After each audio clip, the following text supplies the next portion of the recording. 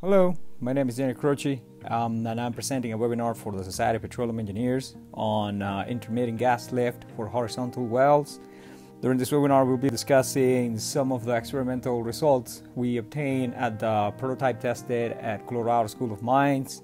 There will be a question and answer session following the presentation. I hope you will join me. Thank you.